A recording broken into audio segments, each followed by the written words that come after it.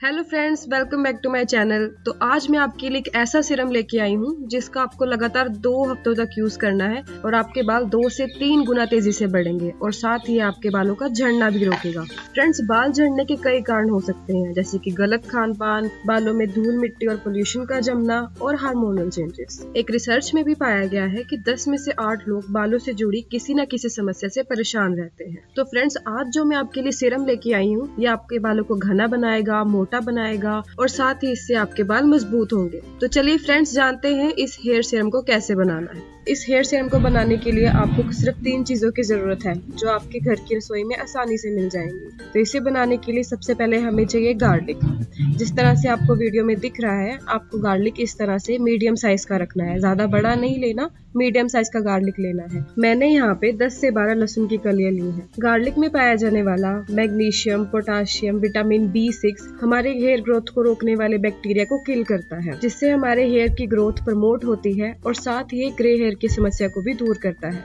तो जो लोग घर से बाहर निकलते हैं और धूल और मिट्टी के कारण उनके बाल ग्रे हो जाते हैं, उन्हें भी गार्लिक का प्रयोग ज़रूर करना चाहिए। इसके बाद जो मैंने अगली चीज़ ली है, वो है अनियन तो फ्रेंड्स आपको लाल रंग के ही अनियन का यूज़ करना है। जब आप मार्केट में जाएँगे तो आपको कई तरह के प्याज मिलेंगे, लेकिन आपको लाल रंग के ही अनियन का यूज़ करना है, क्योंकि इसमें सल्फ़र की मात्रा ज़्यादा होती है, जो कि एलोपेशिया बीमारी से लड़ने के लिए बहुत हेल्प करती है। इसके बाद हम प्याज को अच्छी तरह से छील लेंगे। आप किसी भी चाकू की मदद से इसे आसानी से छील सकते हैं और इसमें छोटे छोटे कट लगा सकते हैं। देखिए फ्रेंड्स मैंने यहाँ पे प्याज में छोटे छोटे कट लगा लिए हैं, ताकि मुझे प्याज को काटने में आसानी हो। आपको भी कुछ इसी तरह से प्याज को छोटे छोटे टुकड़ों में काट लेना है और लहसन में मिक्स कर लेना है। तो अगला इंग्रेडिएंट हम यहाँ पे लेंगे मेथी दाना, जिसे इंग्लिश में फेन्यूक्रिक सीड्स भी कहा जाता है। मेथी दाना हमारे घर पे नॉर्मली होता ही है, लेकिन अगर आपके घर में नहीं है तो आप किसी भी लोकल करियाना स्टोर से जाकर खरीद सकते हैं। फेन्यूक्रिक सीड्स में हाई मात्रा में प्रोटीन और निकोटेनिक एसिड्स पाया जाता है, जो हमारे हेयर फॉल प्रॉब्लम को दूर करने में और हमारे सिर से डैंड्रफ को गायब करने में बहुत मदद करते हैं। इससे हमारे हेयर सेल और भी बेहतर होते हैं, जिससे हमारे बाल घने दिखाई देते हैं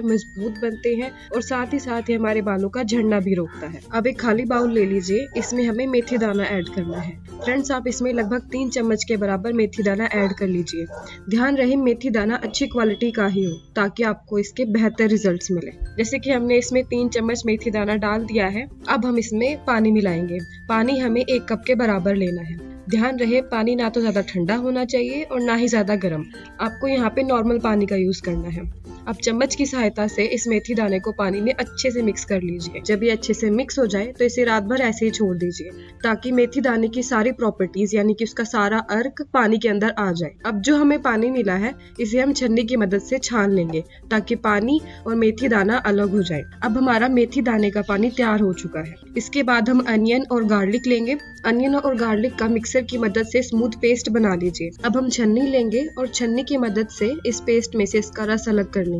अब हमें इसका रस मिल चुका है। हमें तीन चम्मच इसके रस का यूज़ करना है। आप एक चम्मच लीजिए। चम्मच की सहायता से मेथी दाने के पानी में तीन चम्मच इस रस को डाल लीजिए इसको डालने के बाद इसे अच्छे से मिक्स कीजिए। आप इसे दो से तीन मिनट तक लगातार हिलाइए ताकि अच्छे से मिक्स हो जाए और ये हमारा हेयर सीरम तैयार हो चुका है। अब इसे अप्लाई कैसे करना है, चलिए मैं आपको बताती हूँ। इसे अप्लाई करने से पहले ध्यान रहे, आपके बालों में कोई भी तेल ना लगा हो। अगर है तो बालों को अच्छी तरह शैम्पू से धो लीजिए। अब इस हेयर सीरम का इस्तेमाल कैसे करना इसे अपने बालों की लेंथ के अकॉर्डिंग आपको यूज़ करना है। अगर आप लड़की हैं तो दो चम्मच यूज़ कीजिए और अगर आप लड़की हैं तो अपने बालों की लेंथ के अकॉर्डिंग आप तीन से चार चम्मच इसका यूज़ कर सकती हैं। आपको इसका यूज़ कैसे करना है? आप सीरम को अपने बालों की जड़ों में लगाइए और जड़ों में हल्के हाथों से इसकी मसाज कीजिए और बचे हुए सीरम को अपने बालों की लेंथ पे लगाइए। अगर आप चाहें तो इसका दिन में भी इस्तेमाल कर सकते हैं, लेकिन अगर आप इसका रात में इस्तेमाल करें तो आपको इसके ज़्यादा फ़ायदे मिलेंगे। आप रात भर इस सीरम को अपने बालों में लगाइए और सुबह शैम्पू से धो लीजिए। आप इस सीरम को हफ़्ते में दो से तीन बार यूज़ कीजिए। इससे आपके बाल थिक होंगे स्ट्रॉन्ग होंगे